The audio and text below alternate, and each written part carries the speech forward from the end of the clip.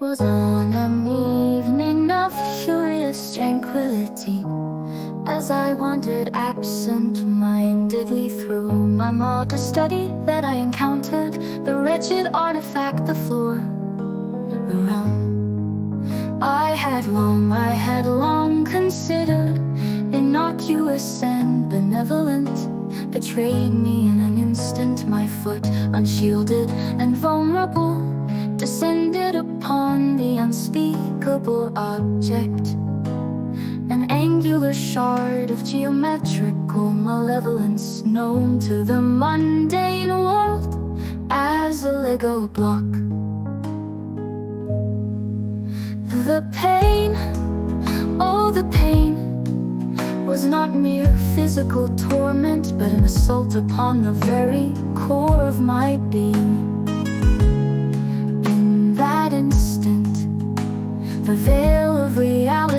was rent asunder And I perceived the truth.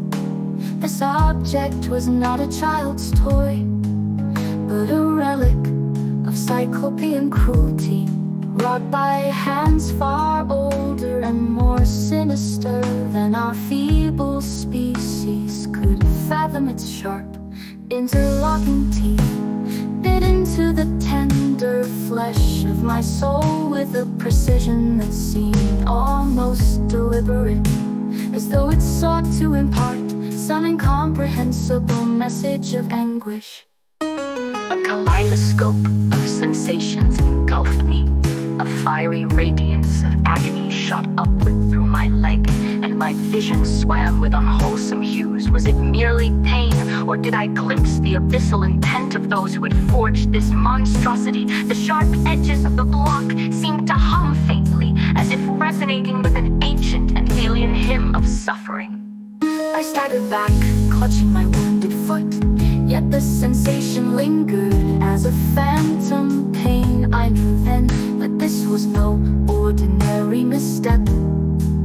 The Lego block, though seemingly inert Was an emissary of a greater unseen horror A glimpsing horror, a glimpse into the cold and uncaring mechanisms of a cosmos That delights in the torment of fragile beings.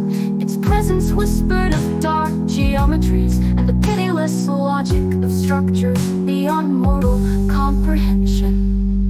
In the days that followed, I could not rid myself of the memory of that moment. Each step I took seemed a mockery, a reminder of my vulnerability to forces far beyond my control. The Lego block remained where it had fallen, untouched, a monument to my anguish, and a warning to those who dared tread upon the path of ignorance. Thus, I record this account not as a plea for pity, but as a dire admonition. Beware the innocuous shapes scattered across your path, for within their banal forms may dwell the seeds of madness.